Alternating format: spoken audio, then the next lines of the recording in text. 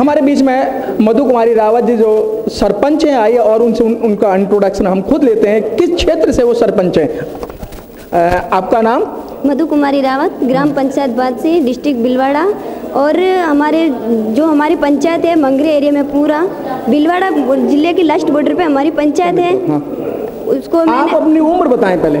Twenty three है मेरी उम्र। 23 उम्र है आपकी और आप इतनी जल्दी राजनीति में आ गई हैं। आप जब राजनीति में आई थी ये प्रेरणा आपको कहाँ से मिली कि आपको राजनीति करनी है? ये मेरे समाज से मिली और मेरे पापा से मिली। पहले मेरे दादाजी थे पैंतीस साल सरपंच रहे उसके बाद मेरे पापा रहे उसके बाद मेरा नंबर आया। समाज ने पापा ने अच्छा काम किया गाँव में जा जाके पहाड़ी एरिया था फिर भी इतना अच्छा काम करवाया। उसके बाद वापस दोबारा नंबर आया तो फिर मेरे को चुना। मधु कुमारी रावत जी आप जब क्षेत्र के अंदर जाती हैं और लोगों से मिलने जाती हैं ग्राम पंचायत में मिलने जाती हैं तो आपको कैसा अनुभव होता है? मुझे बहुत अच्छा लगता है कि लोगों से मिलना, कैसे क्या काम करना, जबकि मैंने सबको ऐसे सुधारा। मेरी पंचायत को मैंने ओडीएफ किया शराब मुक्त किया, पॉलीथीन मुक्त किया। पूरी पहाड़ी एरिया होने के कारण एक एक गड्ढे खुदवा, बड़ी मुश्किल से मेरी पंचायत को मैंने ओडीएफ की है। मतलब आपने शराबबंदी की शराबबंदी मतलब पूरे मतलब आपने जो सरपंच का जो क्षेत्र आता है उसमें कहीं भी शराब का ऐसा कोई धंधा नहीं। नहीं होता है। तो अब आप जब शुरू में सरपंच बनी थी तो आपको किन किन परेशानियों का सामना करना पड़ा? मेरे को न्यून परेशानियों का सामना करना पड़ा क्योंकि हमारे पहाड़ी एरिया है तो शराब पीने के लिए औरतें इतनी मजबूर हो गई थी रात की बारह, एक एक बजे तक औरतें परेशान थी। टोटली औरतें मेरे पास आई, बेटा तू से मेरे, बेटा मैंने तुझे सरपंच बनाया है तो कुछ हमारे भविष्य के लिए भी कर। फिर हमने पूरी महिलाओं की टीम बनाई, इक्कीस महिलाओं की टीम है घर घर जाके समझाया और फिर वो नहीं समझ पाया तो दुखाने में जा, जाके वो बोतलें फोड़ी।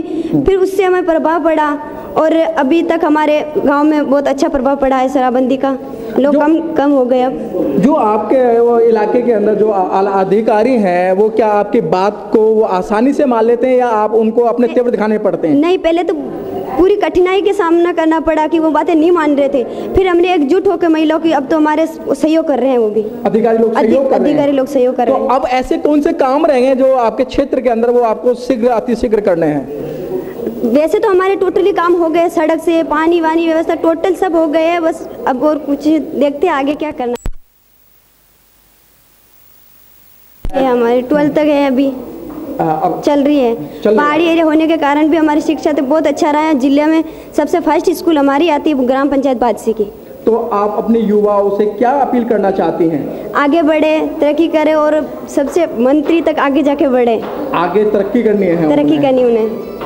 ये थी मधु कुमारी रावत जी, जिन्होंने अपने हल्का के अंदर, अपने क्षेत्र के अंदर बहुत विस्तार से काम किया है चाहे नाली खरंजे का, चाहे स्कूल का, और एक बहुत बड़ी बात कही इन्होंने कि जो एक दारूबंदी है, शराबबंदी है, उसको उन्होंने पूरे अपने क्षेत्र से ख़त्म कर दिया, और देखने में भी इस तरीके से लग रही है कि इनकी बात को कोई मानेगा या नहीं मानेगा। लेकिन अपनी बात मनवाने के लिए अगर संगठित हैं, और संगठित रहकर अगर अपना अपना कोई काम कराते हैं तो आपकी बात को शीघ्र अतिशीघ्र माना जाएगा। कैमरामैन गौतम के साथ मनोज पिप्पल नई दिल्ली से।